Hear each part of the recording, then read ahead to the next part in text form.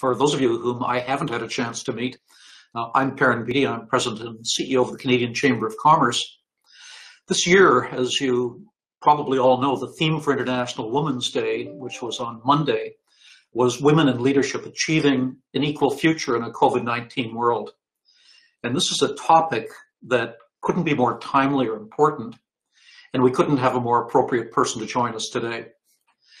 The Honourable Maryam Monsef is the Member of Parliament for Peterborough Kawartha, and you just, those of you who were on the line a little earlier, heard her singing the praises of her constituency, which is what a good constituency Member of Parliament does. Now, in addition to those responsibilities, she is Canada's Minister for Women and Gender Equality and Rural Economic Development. So she really is the, the Renaissance woman covering a whole range of responsibilities. But it's, it's in those capacities as minister that she is joining us today. Now, for those of you who don't know her, she's a person of many firsts. The first women, woman to be elected in the federal riding of Peterborough Kawartha, the first Afghan Canadian member of parliament in Canada's history, and the first Muslim to serve as a federal cabinet minister. And she's been involved for a long time in community activities in her home community of Peterborough, she co-founded the Red Pashmina campaign, which raised money to support education for women and girls in Afghanistan. Now, as Minister for Women and Gender Equality, she led Status Women Canada's transition from an agency to the new Department for Women and Gender Equality, and she secured precedent-setting investments in Canada's equality-seeking movement, including over $200 million to support Canada's first ever federal strategy to prevent and address and address gender-based violence. Now, Minister Monsef was also instrumental in launching an historic fund of $100 million specifically to support the sustainability of the women's movement by investing in capacity building for women's organizations across Canada. Now, she's equally committed to, uh, to her role in advancing the, the cause of women and equality uh, and to bringing the voice of rural Canada to cabinet, where she's working on important rural economic development priorities, including expanding access to broadband connectivity, an issue which is of major interest for rural Canadians and for many, uh, uh, many chambers right across the country. Minister, we're delighted to have you. Thank you so much for joining us today. Thank you, Mr. President. I'm grateful for the opportunity to connect, and I especially love seeing Keitha dancing on my screen right now. She's great. Um, let's let's turn to some of the questions. We're in the midst of a week of activities commemorating International Women's Day. Now, I understand that congratulations are in order for you for successful Canada's Feminist Response and Recovery Summit earlier this week.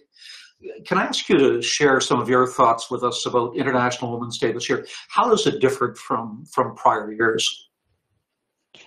Well, Perrin, this year, and especially today on this somber anniversary, first first anniversary of the pandemic, uh, we recognize that of all those who've been hard hit by COVID, and many are mourning many different kinds of loss, women have been hit hardest in terms of jobs lost, hours of employment lost, increases in unpaid care responsibilities, increases in gender based violence. For necessary reasons, the stay at home orders have left too many women stuck at home with the most dangerous person in their lives, often an intimate partner.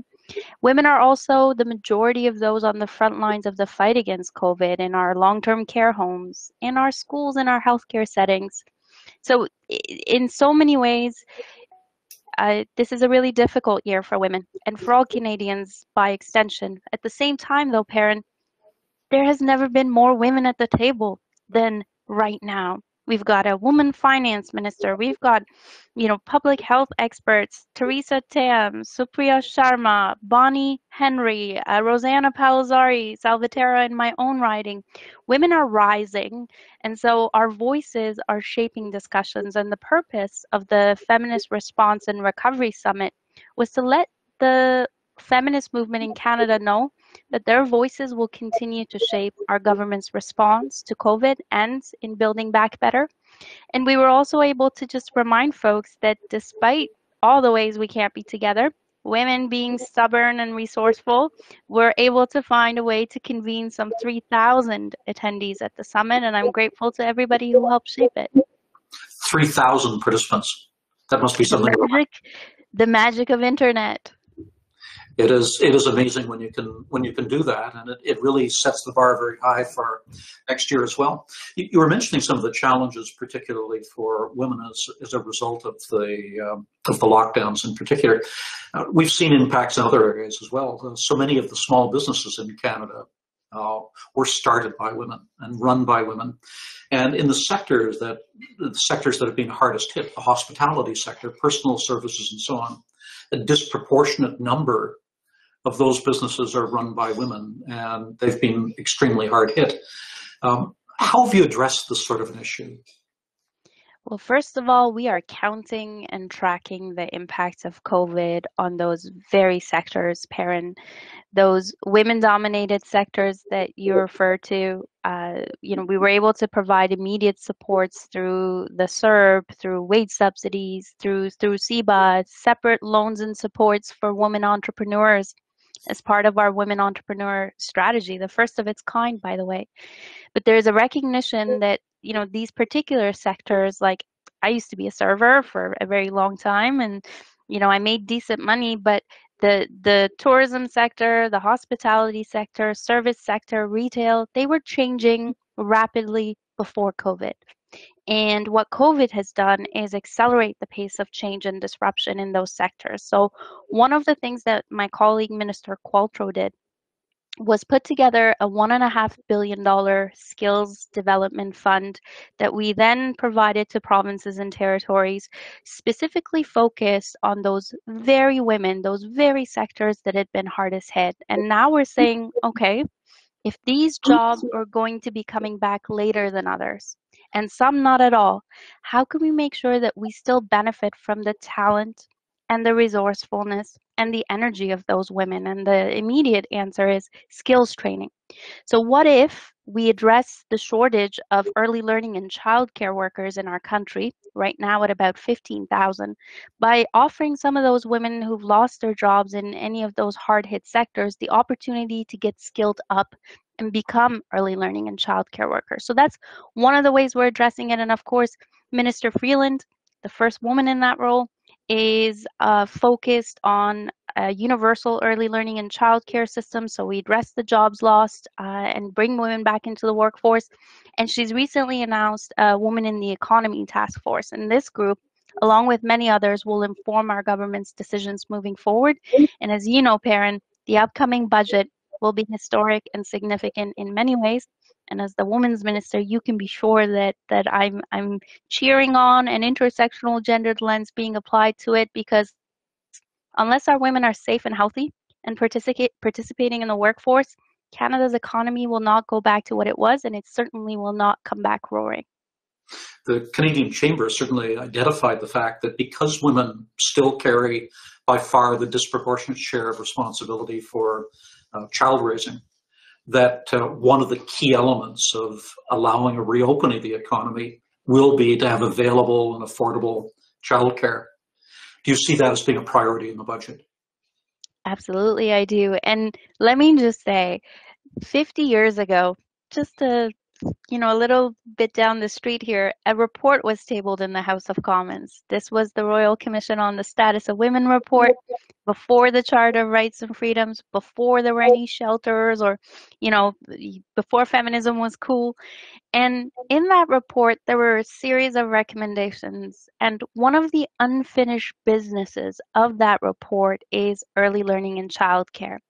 And I got to tell you, to have the chambers of commerce, to have business leaders, respected business leaders across the country say the same thing that feminists have been saying for decades, which is childcare is not just good social policy, it's good economic policy.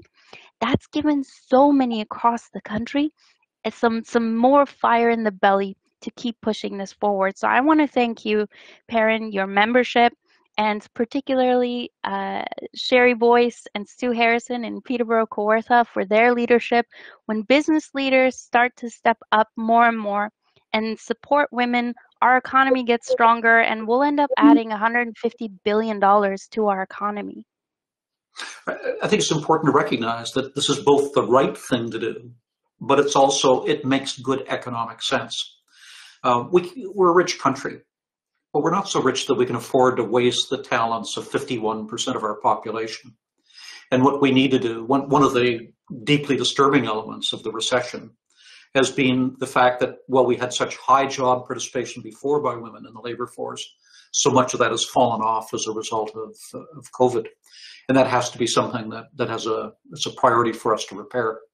It, it's interesting that you cited the, uh, the Royal Commission on the Status of Women because I had gone back earlier this afternoon to uh, refresh my own memory of that. That was two years, if you can believe it, before I was elected to Parliament the first time that uh, that report was released. But it was Prime Minister Pearson, I believe it was in 1967, was it that that he that he launched that? But anyway, it was Prime Minister Pearson, and uh, there is still unfinished business in Canada half a century later from that Royal Commission report. It speaks to the fact that it was uh, that it was uh, groundbreaking work, but it also speaks to the slowness of society to to catch up.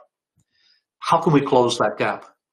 Holy moly! Uh, yes, you you were elected, sir, the same year around the same time that the first women's shelter in Canada opened. So that's also a nice way to remember your entry into the House of Commons.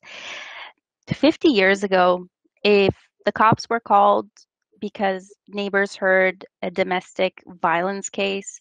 Cops would show up, they'd find out that, that it's a case of intimate partner violence, and they'd say, Sorry, we can't do anything. This is a matter between man and fi- wife.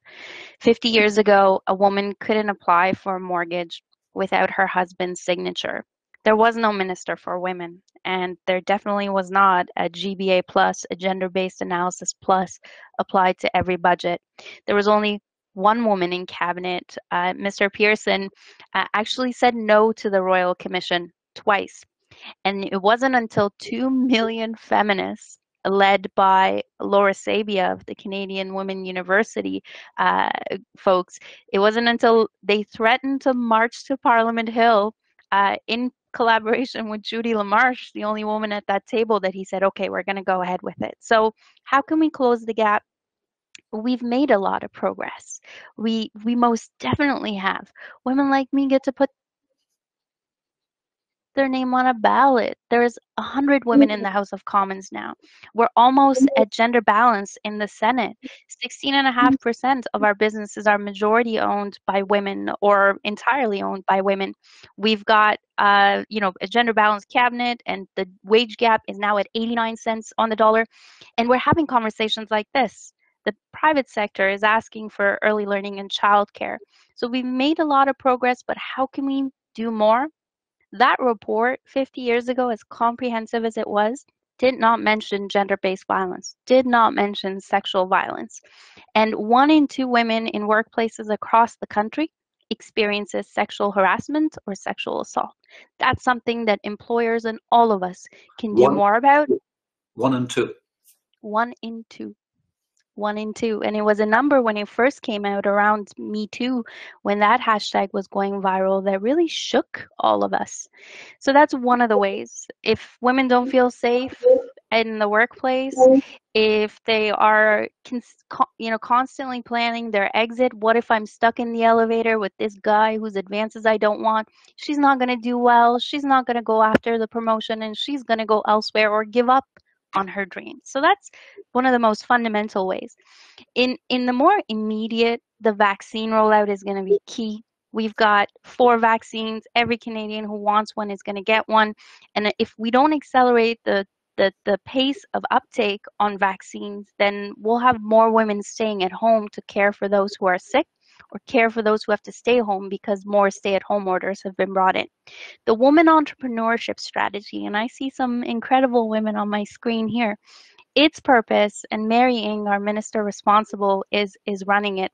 Its purpose is to double the number of women entrepreneurs in Canada to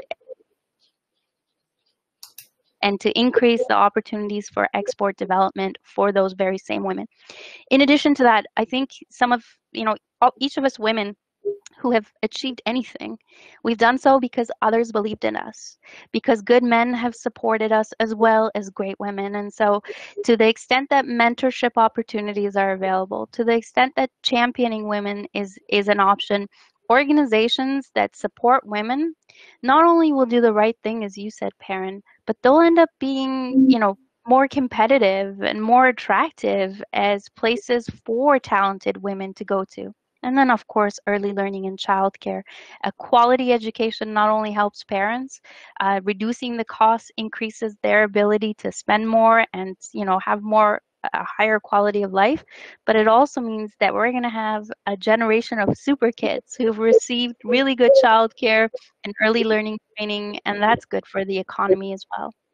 But sometimes, Perrin, it's just a matter of having conversations like this and reminding those who are in our circles but don't necessarily live and breathe this work that as a society we value and we respect women. And that in itself is transformative. You've talked about the impact of, uh, of the recession on women and how hard hit they've been, but there have been many other groups as well. Uh, if you look at the hospitality sector, so many of the people working there are new to Canada. And this may be their first job and they have lost it. So many people are young people and they've lost their, their first job. We talk a lot about having an inclusive recovery. How do we get to that point? Uh, how do we move to reopening, first of all, but how do we ensure that as we reopen, that the benefits are shared evenly as opposed to, to uh, the very uneven K-shaped recovery that we hear people talking about. Well, I think your last mm. speaker from beautiful BC said it best vaccines, vaccines. And yes, let's all sing that same tune because, you know, we've got plenty full supply now and it's rolling uh, in my own province. Uh, in my own community, over 600 volunteers have signed up to help administer the vaccine. So that's definitely step one. We're, we're also paying attention to the fact that if you're Black, if you're Indigenous, if you're racialized, if you're young, if you're living with a disability, if you're in a rural community, particularly older rural women, you've been hit hardest. And so, first of all, we see you, we hear you, and we're developing programs and policies targeted to best support you. With my other hat, Perrin, high speed internet isn't just about being able to FaceTime your loved ones, you know, if they may be in a long term care home. It's about getting the opportunity to skill up from your home. It's about being able to, if you're a business on one of those main streets, like in my own community, being able to offer your services and products online. For so many, it's a matter of health and safety to be able to connect with a physician or a counselor. And, you know, for too many, uh, including along Highway 7, which is the road I travel back and forth, or did a lot of traveling back and forth to Ottawa and Peterborough, there are cell gaps, and those cell gaps are dangerous because they put too many women, and we've heard through missing and murdered Indigenous women that, that that's a challenge. The skills training piece is key Ensuring that vaccines are rolling out is essential. Providing early learning and childcare so that newcomer women and racialized women and all moms can have real choices about whether to go for that next promotion or to stay at home and care for their loved ones will be a big part of it. In the meantime, there's a recognition that you know nothing for us without us so we're actively having conversations with young people who've been hardest hit and those BIPOC group you mentioned who've been hardest hit because they have the most at stake. And if we're not careful, they'll have the least voice at the table. The upcoming budget is is going to be about the COVID response, as Chrystia Freeland has said, but it will also be about continuing to set the foundation that lifts up those who have fallen through the cracks and create the condition for their recovery and prosperity. So for women entrepreneurs, for those in those hard hit sectors, for black indigenous racialized folks uh, you know there will be mm. there will be mm. uh, opportunities and means to mm. address the barriers they're experiencing uh, and i sincerely appreciate that the private sector and particularly the chambers are part of this conversation i saw your your paper that you had released for women's day and honestly, every time you send anything out about uh, what's good for women is for all of us. Uh, it it helps, and for all the small businesses who are part of your membership, we're gonna have your back. We're not gonna we're not gonna suddenly stop with the supports because you are the ones employing those very same people, and particularly for newcomers, helping them to build the right foundation for their life here in Canada and give back. So we've got your back too. Now we have uh, a number of people who have questions they're going to be wanting to, to ask, but let me just, so I'll, I'll, have just a couple of more questions before we open it up to the floor. For those of you who uh, are watching online who'd like to put a question, uh, you received in your invitation information about how to put in a question using the Slido app. And so if you would please do that and submit that. You can also vote up the questions that are others may have asked that are of most interest to you. So please do that and we'll get to your questions very shortly.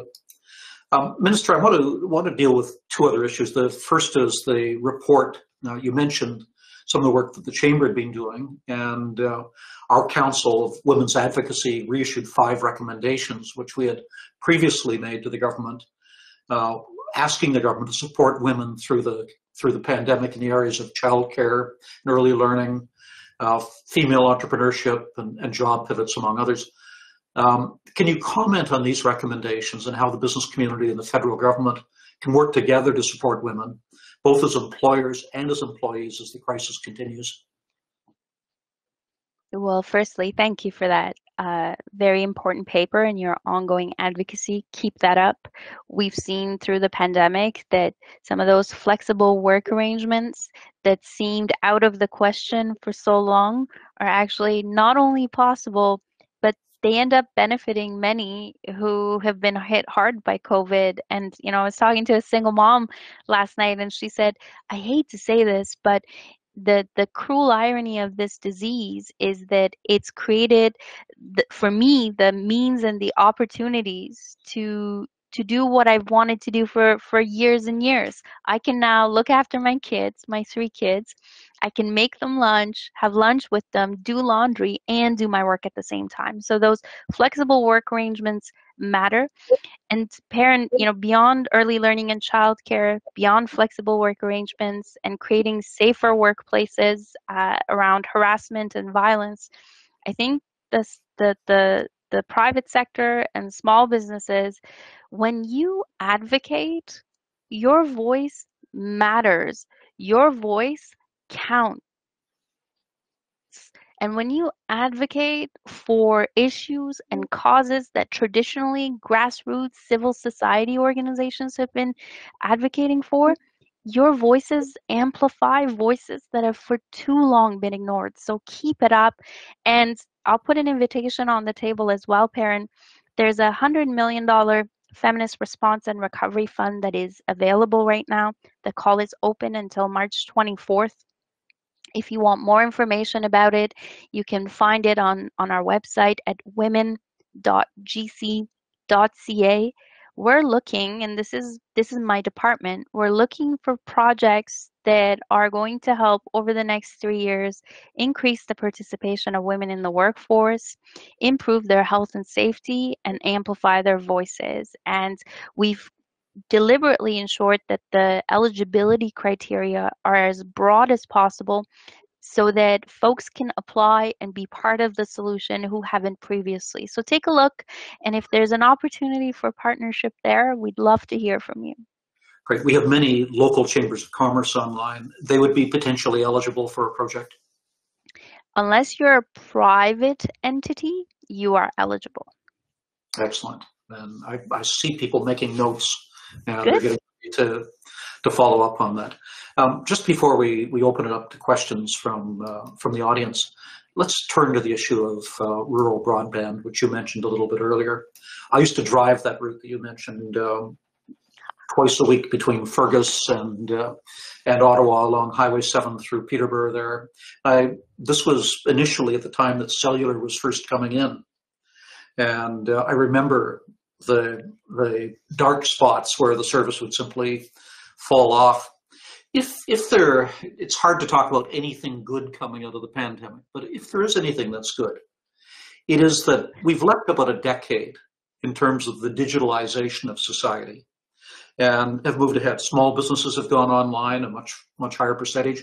And we've discovered ways of using digital technologies that melt geography, that mean that people in rural and remote areas are able to work remotely or to receive uh, medical services that would only have been available before for people in urban centers.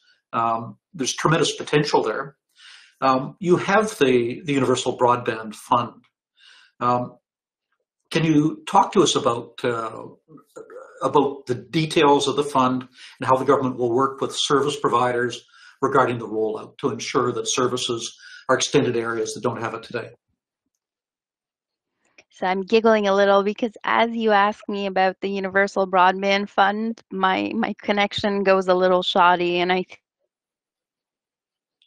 think it's the the universe reminding me every now and again how difficult life is in the best of times without high speed internet or a solid internet connection and how particularly difficult it's been for too many Canadians across the country including in my own riding without that connection the universal broadband fund is the second phase of our government's investment in connecting every household to this essential service we started with connect to innovate the program in our first mandate.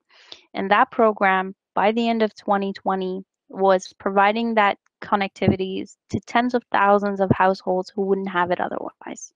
That program also came with Canada's first connectivity strategy and Canada's first rural economic development strategy, which my predecessor, uh, the amazing Bernadette Jordan, put in place.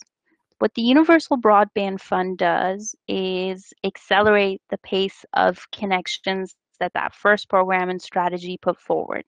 So this is, at this time, the federal government, because of the Universal Broadband Fund, is the single largest government investor in high-speed internet. We've designed the program deliberately to be as flexible as possible. As you can see, there's a theme emerging here.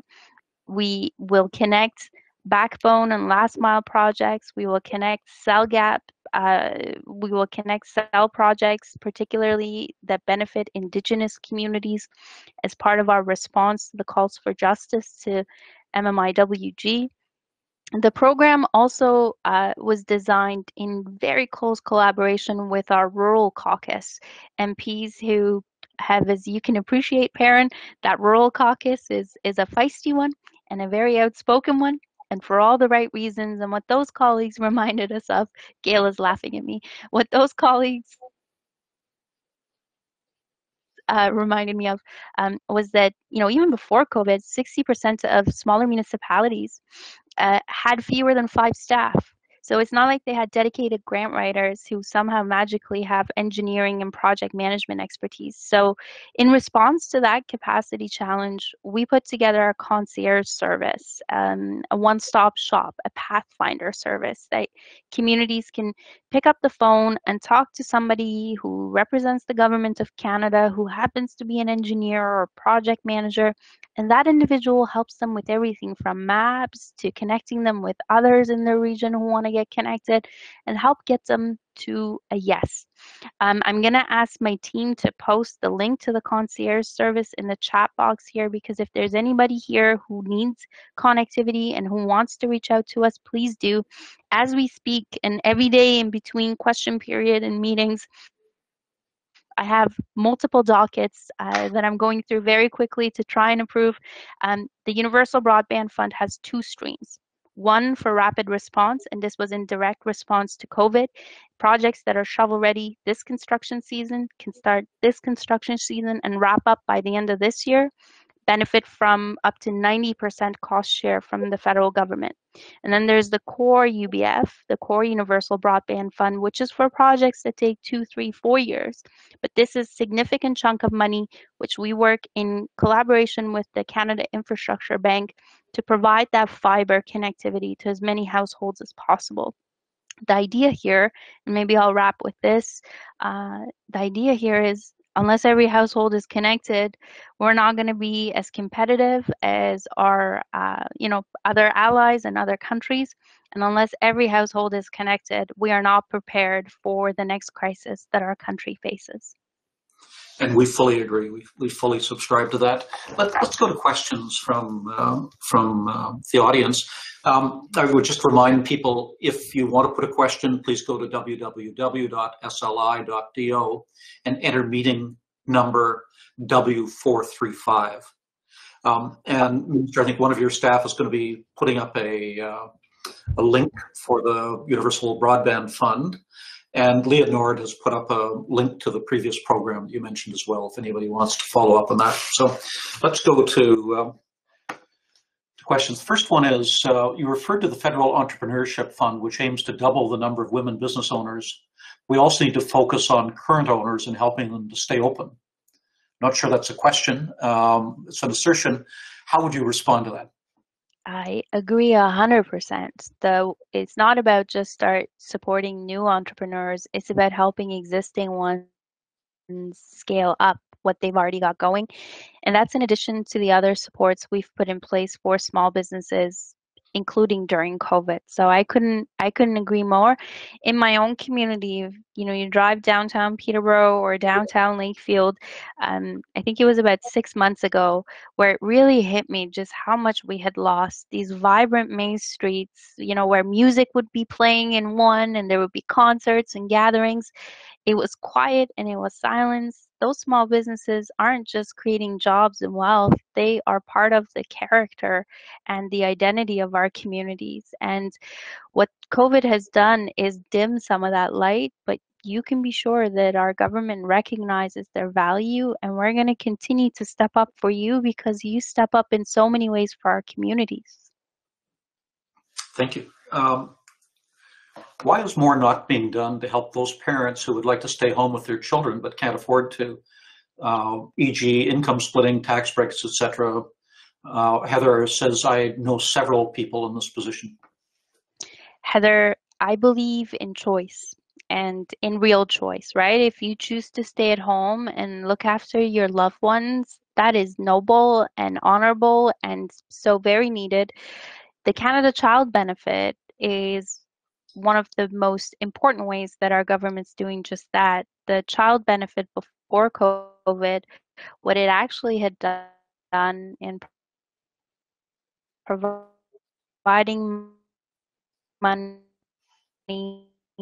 directly to families into their bank accounts monthly, it, it cut child poverty rates by half. That meant parents had fewer expenses to worry about and greater supports for all the costs that come with raising kids. But beyond that, during the pandemic, when schools closed, particularly, we heard and we were on the phone with teachers uh, and other child advocates uh, and of course many moms. They told us especially the ones with the lower means they told us that their kids in school could usually count on one or two square meals a day nutritious meals a day. With covid those costs went up and so we increased funds through the canada child benefit for those very parents for those very same reasons and we've got a bill in in the House of Commons right now uh, we've got a bill in the House of Commons right now that we hope will be passed to provide additional support. So I think my internet connection went a little wonky here, uh, but maybe I'll pause, Perrin, so that you can tell me what you got and what got cut off.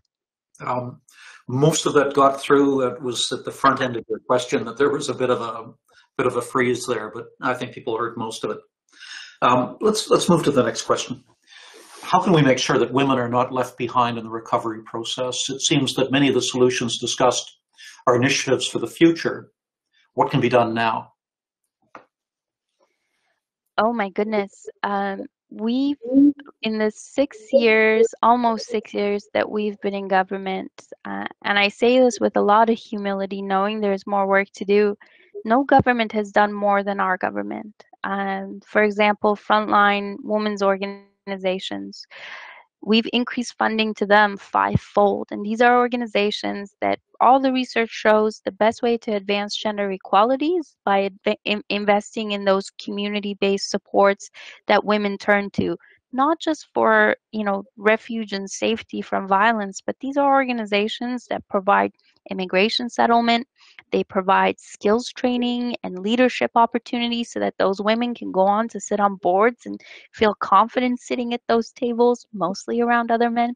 The Women Entrepreneurship Fund is $5 billion, and this was something we passed in our first, uh, in our first uh, term in office.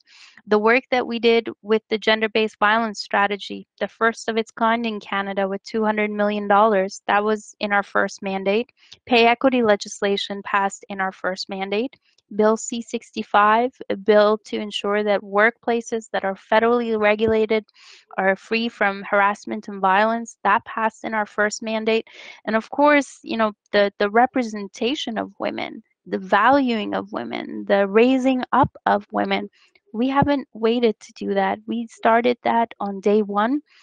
And, you know, as Perrin said in our first mandate, we helped create the conditions for members like yours to create over a million jobs in our first mandate. And in that first mandate, we had more women working, more young people working, more newcomers working, more persons with disabilities working than ever before, and on the lowest unemployment rates that we know of since we started gathering the data. So we're not starting from nothing. We're starting from a foundation from the very beginning that recognizes that when you invest women, when you invest in women, you support the family, you increase the vibrancy of the community, and you improve the economy for everybody. Now we're, we're rolling up our sleeves extra high and doubling down on those efforts and targeting our efforts further on those who need our support the most. Thank you. There was a brief freeze there, which which simply confirms that you're not jumping the line in terms of access to the Universal Broadband Fund. Uh, no, my friends, I hear you and I feel your pain. um, let's go to the next question. Will the government consider removing tax barriers for childcare by expanding the eligibility of small business owners who can claim childcare expenses and making childcare an eligible business deduction? So I saw that in the paper that you have released, uh, and I'm sure that Chrystia Freeland and Mona Fortier, who are in the bowels of the Department of Finance somewhere working on the budget, have definitely taken that into account. I'll tell you, my main priority for universal early learning and childcare is that we actually build a system and we don't inadvertently create the conditions that provide women more incentives to stay home when the real choice is will I get that job opportunity that allows me to earn a higher income for my family or not? So that particular proposal, I think it was the, the fifth proposal that you had put put in place. I thought it was a thoughtful one and I know that the ministers responsible for the budget are looking at it very closely. But the budget should be coming soon, so stay tuned. Um, look, we're among friends. What's the date for the budget? Oh, well, let me just text you right away, Perrin. I, I don't know. It's coming very soon, and, and you know, it will be a historic budget. It, it'll definitely be one of the most significant in, in modern Canadian history. And I can promise you that a very comprehensive gender based analysis plus will be applied to it. We will be watching for it. Um, next one is a comment. Last month, the Canadian Chamber held a roundtable on business re reconciliation the importance not only of universal broadband was highlighted, uh, also needs there needs to be a focus on complete and wraparound services, and then brackets housing. Um, not entirely sure what what the interpretation of the question is. How are you doing with it? Well, on housing, uh, we asked Canadians at the beginning of this pandemic to stay home, to work from home, to study from home. But not every home is a safe home, and not everybody has a place to call home. So in my own community, housing is a challenge, and you know the the national housing strategy, the first of its kind, um, offers now over $70 billion for partnerships with developers, with nonprofits, with municipalities, with indigenous entities to help address homelessness and to ensure that everyone has a safe place to call home. And if if your community has a housing need, I highly encourage you to look at the National Housing Strategy. The website is placetocallhome.ca Uh, and every 60 days, there's a rolling intake period so that you don't have to wait every year to apply. It's an ongoing rolling intake. And the folks at CMHC, your regional advisor is the person you want to be best friends with, as well as your member of parliament, uh, and they can help navigate the process for you and figure out which stream is most suitable for your needs. Uh, I'm I'm in you know cottage country, and my partner and I we we were supposed to get married this past year but okay covid that wasn't in the books. So we thought okay let's let's instead of spending a lot of money on a wedding let's look for a place to call home of our own. The housing market in Peterborough is hot as is the case everywhere. So housing has also suddenly not just become a you know a quality of life a, uh, a, public health preventative measure around a lot of the ills, including COVID. But housing is mm. fundamental to our community's prosperity. And the more housing we build, the more money comes into our municipal government's coffers, and the better our quality of life gets. So our government's firmly behind and ready to work with anybody who wants to increase the housing stock in our country. And of course, to maintain what exists so that we don't lose it. We can't afford to lose it. In my own community, housing seems to be the limiting factor to managing our growth. Uh, but thankfully, we have smart, thoughtful leaders with a vision to do something about that. Now, you wouldn't give us the date for the budget. Will you at least give us the date for the wedding? It's TBD. It's like so many others, like so many others. Uh, we also have funerals that we have to plan, and we have birthdays that we've missed, and graduation ceremonies that need to be redone. Those rites of passage are gone, but you can be sure that you'll know about it, and whether we like it or not, there will be a Zoom element to it. we'll stay in suspense on both items for the next while. Uh, the next two questions are with regard to the Universal Broadband Fund. Uh, first one is, uh, in accessing UBF funding, many have come up against incorrect mapping data. What is the federal government planning to do to ensure that mapping errors are corrected and communities in need can access the program? That's a very important question. Thank you so much. Um, one of the first meetings I had when I got the job as the rural minister was uh, with our folks in EORN, the Eastern Ontario Wardens Caucus uh, has supported this regional project. And back then, we were still using the hexagon model for our maps. That model was one of the first things that that is gone, uh, and our maps we're continuously improving them. We're getting help from communities and our partners to make those improvements. The concierge service that I mentioned earlier is the place to go to if you have ways that you can help us improve the accuracy of those maps. Um, our goal is to get to a yes with as many projects as possible and avoid overbuild. So if you can help us get that connectivity and you can help us improve those maps, know that we're certainly working on it and we'd appreciate your help. Okay, also on broadband, uh, with the UBF, are the accompanying discussions within the federal government uh, about the digital liter literacy skills for individuals and e-commerce for business and it trails off there. Um, Perhaps you could talk about, uh, to accompany the UBF, what are the uh, discussions taking place within the federal government about digital literacy skills for individuals and e-commerce for business? What would you do to complement the rollout of the physical service? I think that is such an important question. It's a, a, the the literacy piece uh, is is the, the other side of the coin of accessibility, uh, and our government certainly focused on that. The skills training uh, fund that I mentioned earlier will certainly target uh, digital literacy.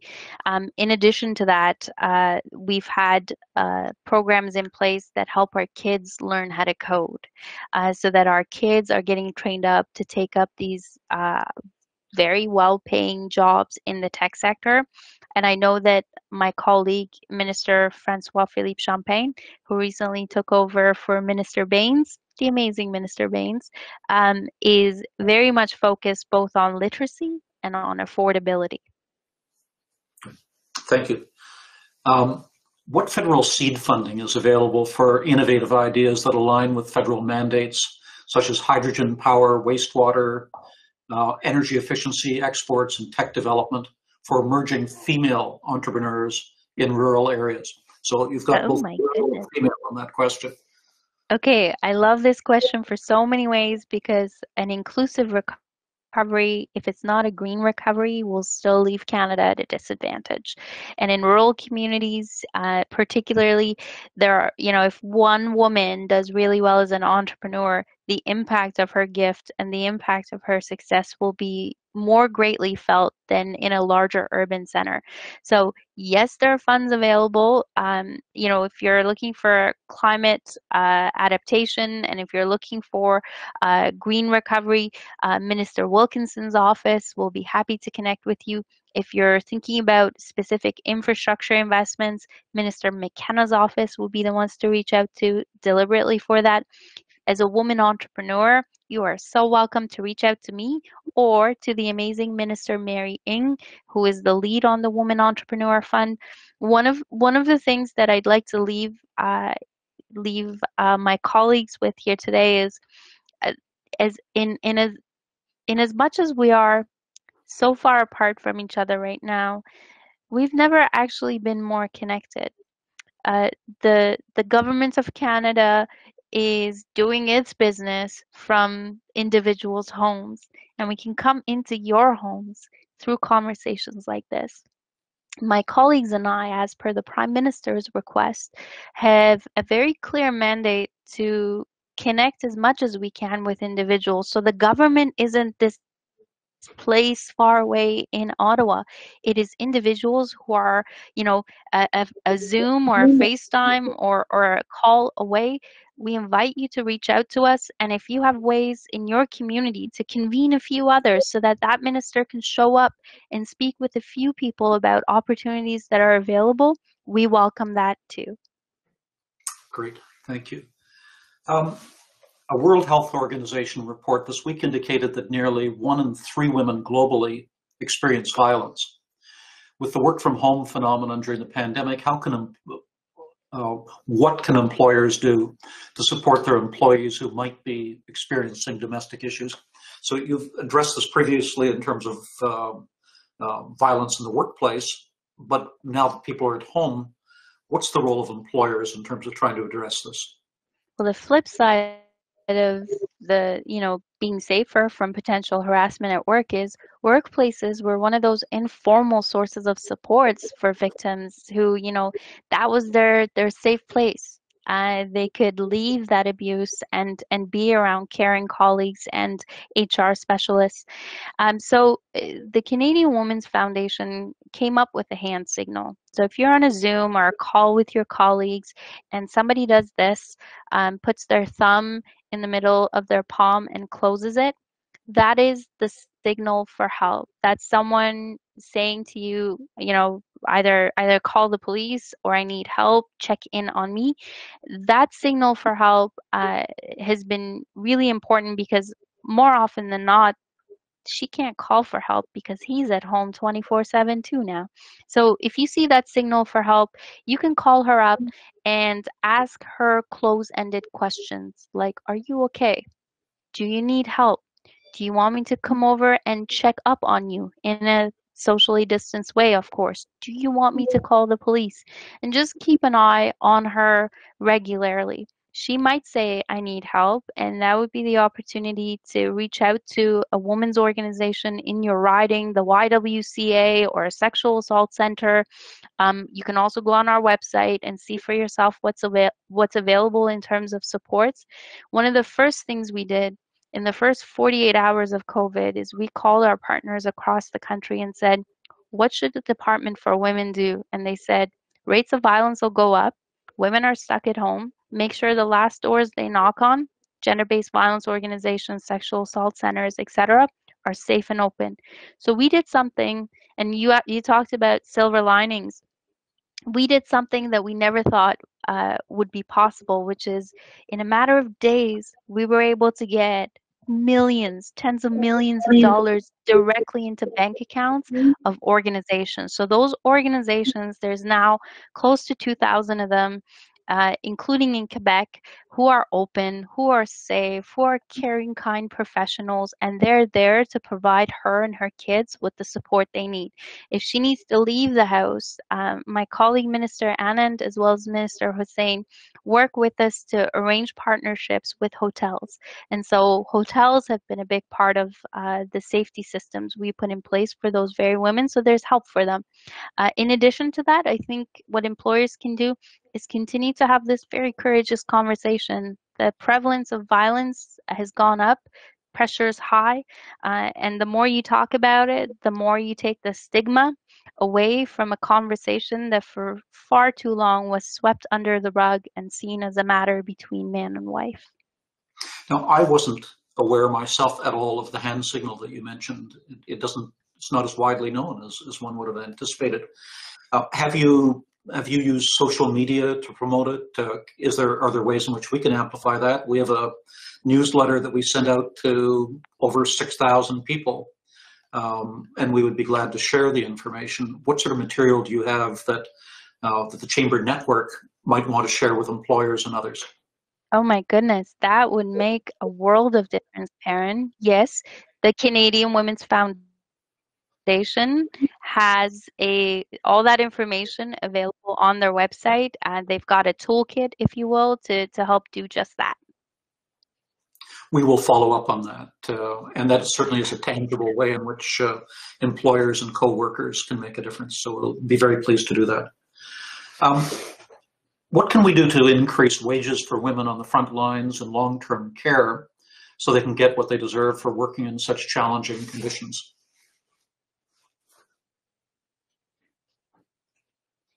you cut out, but I think you were asking me about wages for essential workers. Yes, in long-term care. Right. So our our government has added through the Safe Restart Agreement and then in a separate envelope about three billion dollars to provinces and territories to top up wages for those essential workers, pandemic pay, uh, and that's been a part of it. Uh, I think that Canadians, one of the one of the things that you can help us with is to continue to advocate for the value of the work these women do. Uh, in my own community, these women have gone into work even after a pandemic has been declared or an outbreak has been declared in in their institutions because if they don't do it who else so they're truly the true heroes of the pandemic and they ought to be paid equitably and for all the ways they've been essential and cared for our loved ones, the least we can do is pay them their worth. Um, next question, Jackie from BC. We're currently hiring for many highly skilled positions and are struggling to find applicants. How can we and other businesses who need workers tap into your skills development funds, as well as women and other Canadians who are seeking work? The the one and a half billion dollars that I mentioned, uh, and by the way, everybody, as we speak, I'm also voting on an app. So this is, I guess, this is one of the few, very few good things that the pandemic has offered. So I just voted. Um, the one and a half billion dollar funds that that I refer to, uh, the funds were provided to provinces and territories through direct transfers. So it's up to them to determine what to do with. Um, I think making sure that public health measures are followed and leading by example, you know, addressing the vaccine hesitancy that will come right now we're only hearing from folks who want to who want their vaccine yesterday but once we get through those folks and we will there will come uh, the need to have conversations with your friends, colleagues, loved ones about why getting that vaccine is important. Um, the $100 million fund that I suggested uh, you consider looking into is another opportunity to consider exploring. Uh, and if, you know, I'm sure if you're on this call on a Thursday afternoon, you're going to be watching for that federal budget and the provincial and municipal budgets that come. So feel free to to reach out to us if you see something that that applies to you there. And Perrin, I'll just reiterate one more time that the the government of Canada is here at your service and we've got your back. MPs like me, we, you know, for all the ways that it is a privilege to be at this table at a time like this to serve my country. I have lost the best part of the job, which is the connections and the gatherings with people who offer their insights and suggestions on a regular basis. You are our eyes and ears now. So if you want to convene a conversation like this in the near future, to explore possibilities to build back better, to lift up the women in your communities, to increase their workforce participation, to improve their health and safety. Let's talk. We're in this together. And the more voices we hear from, the more inclusive and the more complete that recovery will be. Thank you. We're, time is fast escaping us. We have three more questions, Minister, here. Let me um, try to, to get to them right now. As part of the federal broadband initiative, is the government considering incentivizing fiber optic connectivity where feasible? Yes, fiber is ideal. It's future proof in that it can be scaled up. Um, so we're certainly uh, looking to connect as many households to fiber as possible. There are some places where that's not an option, and satellites will be the solution there. And then there are places where, you know, the residents will have to wait years and years for a fiber connection, and so we'll go with with uh, another option so that they can have that essential connection in these very difficult times. Um, so you certainly have whet people's appetite here. How can we, at a community level, learn more about the training, skilling that's available for women and for all Canadians? You can go on the Government of Canada's website. You can reach out to our individual offices, to your Member of Parliament's office.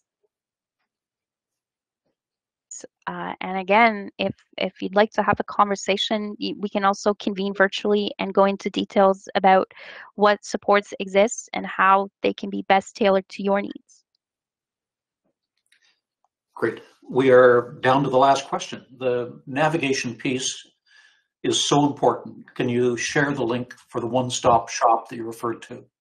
Yes, I'm gonna I'm gonna ask my wonderful